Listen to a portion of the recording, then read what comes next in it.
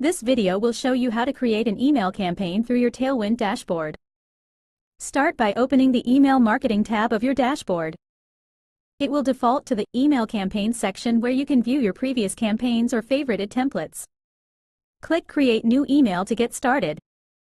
There are a couple of ways to tailor templates or narrow down your options. First, click Update Brand Style to customize your brand settings. You can choose your style, colors, fonts, and add your logo which will be incorporated into the templates.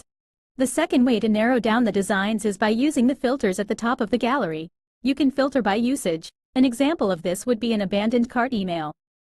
Or by season and industry. You will see your previously used templates which you can select to use again. Or select a new template from the template design gallery. Simply hover over one of the templates and click to preview or select to begin editing. You'll be given the option to either type in your own subject line or use Ghostwriter to write it for you. Fill out the information and Ghostwriter will generate an attention-grabbing subject line sure to spark interest amongst your audience. Once you've gotten your subject line, you can now begin editing the layout and design of your template. All editable options are over on the right-hand side toolbar. You can add columns, headings, buttons, dividers, etc. Another helpful feature is the Audit tab on the right-hand side toolbar. This will tell you what might be missing from your email that you might consider adding or changing. Once you're happy with your email and its contents, select Continue to schedule your email campaign.